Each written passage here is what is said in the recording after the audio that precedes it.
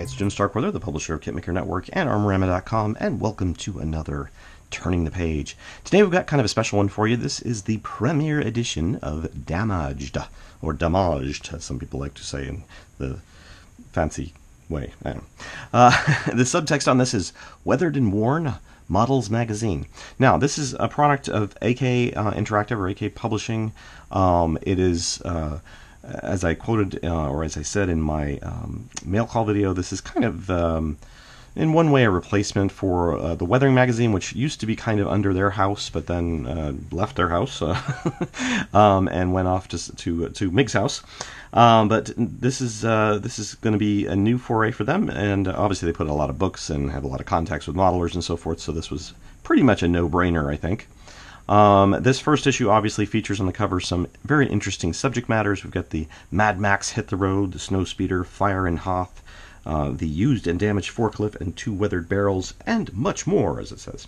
Um, again, issue number one, uh, 4.95 euros, 4.95 or 4.95. Not sure when when you know in, in in Europe they use a comma, but obviously they maybe want to have it make sense for for us Americans too. I don't know, or maybe in Spain they don't use the comma. I know in Germany and and uh, in England they seem to use the comma. Uh, or maybe it's mostly just Germany. Anyways, I'm I'm rambling as I as I often do. All right, so uh, initial uh, introduction here, written by um, Diesel. At least I assume that's a Spanish name, so um, that's why I did the H sound. Um, this, of course, magazine um, AK is located in Spain, so we're going to get a lot of uh, some Spanish influence, but probably a lot of European influence as well. And I need to get my glasses. I had them all the way back at my uh, my computer for some reason. Um, well, there you go. There's the first time ever I, in a in a Turning the Page I've done a an edit. So, but I couldn't have you guys just hanging there for a while. Oh my goodness, this these glasses are a bit messed up. All right, now I can see. I'm having the hardest time reading small print, or in this case, small bold print. Um, when Fernando and Ruben surprised me by asking me to write this editorial, my first reply was to ask them why a military modeler were writing an editorial introduction to a general modeling magazine. The response not only answered my question, but but also perfectly illustrated the logic behind asking me in the first place. As modeling veterans, we can sometimes have a bit of a narrow viewpoint when it comes to our hobby, which explains why newcomers to the hobby, as I realize I'm reading very fast, you can always slow it down. You know, there actually is a feature in YouTube where you can say, um, run this video at like 1.25 of speed. Uh, it basically like slows it down just a bit. So, anyways, helpful hint. There you go. You get you get uh, you know reviews of, of, of, hobby products as well as uh, reviews of, of, of, YouTube stuff. I'm not going to read the whole thing, but I just wanted to give you kind of a little bit of a, a glimpse there into the content. All right, so uh, this first article obviously is on the forklift, what you can expect in these magazines, which is typical of a lot of these uh, publications, especially the ones out of Spain, which I think are probably some of the best, um, is very high quality pictures, very um, attention to detail oriented design work and layout. I mean, this layout is as good as you know many uh, mainstream magazines. Like I'm talking about like GQ or you know uh, uh, Playboy, uh, you know whatever you know mainstream stuff that a lot of a lot of people obviously uh, buy off the newsstands. So which I think is a which is a definite plus because it gives it uh, a very professional look and feel. And uh, professionalism abounds. You know, you've got lots of uh, very high-end modelers who do these articles. This particular one, by the way, was by. Um, I got to figure out how they do their their peoples. Um, all right. Well, they could be better about that. The article clearly should say, ah, here we go, modeler Ruben Gonzalez. Um, so, but yeah, I personally prefer it down like here, you know, uh, by. I think it should just, I think this is fine that it's in this, but it should also say somewhere right here by the title by Ruben Gonzalez. Uh, because obviously he hopefully wrote a lot of this, or at least it was transcribed from his uh, native tongue. Um, so, yeah, I just think that's kind of layout wise. So here I am praising them for the layout and then criticizing at the same time. If that isn't a Jim Starkweather typical kind of, uh, of, of, review. Um, so yeah, you know, again, the expectations here are, are going to be. I think uh, if you're familiar with these types of magazines, like the Weathering magazine, you're going to be familiar with the way these are kind of laid out and the way the kind of content you're going to expect to find in them. Uh, a, a, subject matter near and dear to my heart. This one's by Juan Manuel um, Villegas, and uh, nice job there with the uh, the green seating. Is that the actual color? I, am assuming it is, but uh, you probably don't see those other than maybe the headrest behind them. So, uh, and I, don't I, have to admit, I never caught that, that they were green before, but maybe not. Maybe he's just making a, a creative uh, addition there. Um, this is the which kit is this? Is this the this is the Bandai kit in 148 scale. So uh, looks pretty nice.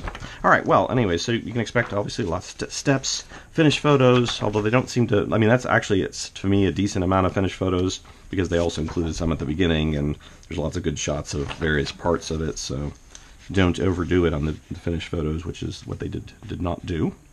Um, and uh, then they have this one which wasn't featured on the homepage, this Seaplane Northway Aviation. Um, again, some great detail here. I like all this uh, internal stowage and, and cargo. Uh, so, you know, you can expect a lot of different kinds of things in this. I mean, they said it was a general modeling magazine, but I don't really think that's fair. It's probably more a all genre magazine. In other, in other words, I don't think you're going to find, even though that maybe that there aren't any tanks in this issue. Maybe I mean there's a military vehicle, um, although it's kind of more configured as a civilian jeep. But um, Chernobyl, so that's pretty nice for people who've uh, wonder what Chernobyl is like. And then the Mad Max car, obviously this one's by um, Andre um, Montiel. Um, and or Andre. Is it Andreas with the with the S? Andreas? Andreas Montiel. Anyways, uh, this is the Aoshima kit. Again, some amazing final uh, outcome here. Uh, he's even got like some some gas kind of uh, drift from you know probably gas coming out of the cap there. And this final one is uh, Sputnik or something. Looks like this is some kind of alien probe thing. Alien probe thing. Which kit is this? Uh, this is Scratch Built. Very cool looking. Anyways, so yeah, you know, this is just an expectations kind of, you know, turning the page just to show you. In the next issue, they're going to have uh, this Hitachi uh, loader, which we actually got that uh, kit when it came out from, um, I want to say Hasegawa. Um, so other than that, they don't really say specifically what's going to be in the article. But uh, then we've got some e-models advertisement on the back. Boy, e-models, they they are popping up in all my videos lately, aren't they? Hello, e-models. Yes, yes. Um, so uh, I think they at one point they were going to advertise with us, but I'm not sure they. I think they might have briefly, but I don't. I don't know if they still are or not. I don't think they are actually. So I shouldn't plug them. Darn it! They should advertise on one of the largest hobby sites on the on the internet. It's I, I you know people always said I, one one time I was at a show. Sorry to, to, to borrow the, the, the the mic here for a little bit, uh, AK.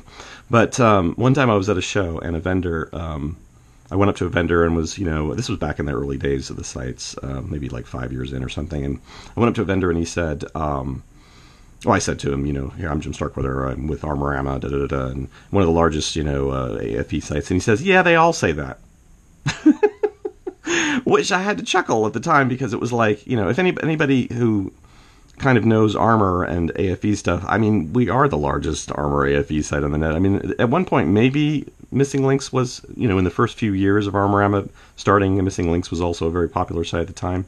And I'm, I'm sure, you know, you might make, be, be able to make the argument that now Fine Scale, Fine Scale site is larger or whatever, but, you know, uh, we're still like the biggest and the oldest. Um, if you pulled all the aircraft models off Fine Scale, I don't think you'd actually have as big an armor community as, as us.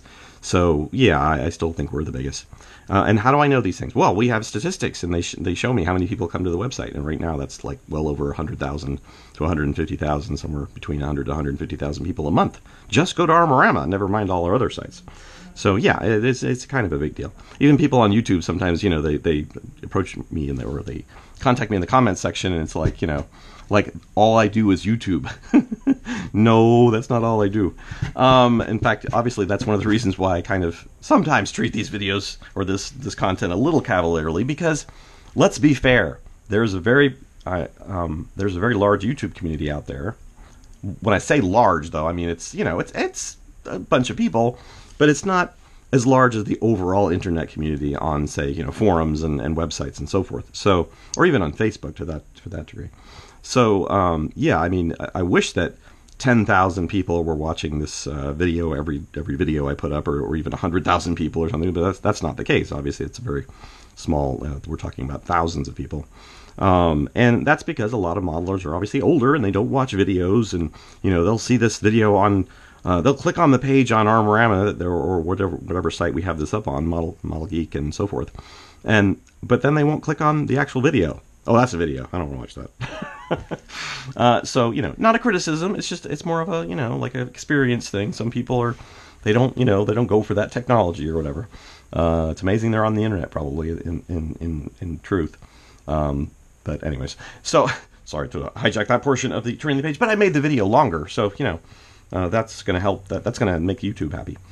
Um, again, uh, let's talk about briefly um, before I get off here about availability. Now, I haven't checked, but the magazine probably isn't available. We've already had a comment on the mail call video that I did uh, yesterday, uh, or the day before actually, um, and uh, saying that they they could find it, but only in Germany, and it was going to cost sixty dollars to ship, which I, I, find that a little, little odd. I mean,